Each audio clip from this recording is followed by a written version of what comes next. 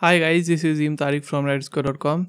In the previous video tutorial, I show you how to set up your development environment in Eclipse IDE and uh, in this video, I will show you how to debug your application in IntelliJ IDE.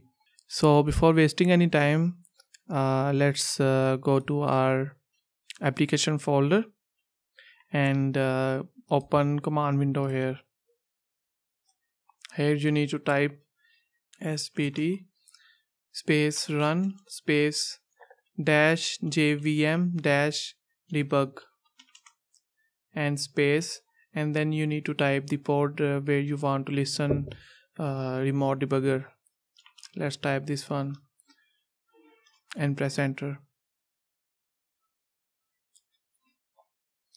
Now let's uh, configure debugger in IntelliJ IDE click on run then click on edit configuration and from here just uh, click on this plus button and scroll down when you find this re uh, remote option.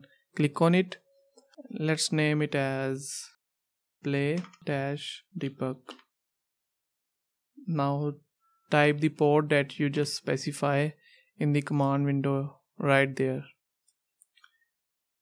And everything looks fine to me. Click on ok now our debugger is ready to go. Let's uh, make few changes in home controller. Let's declare some variables so that we can actually see the value from this variable through our debugger.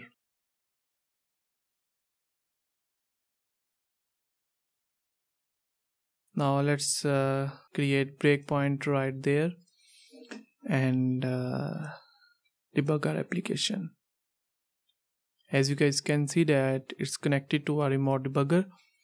Now we can just run our application in browser.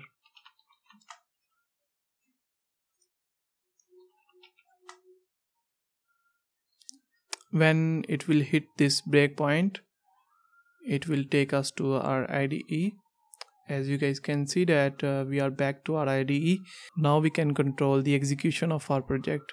Let's step over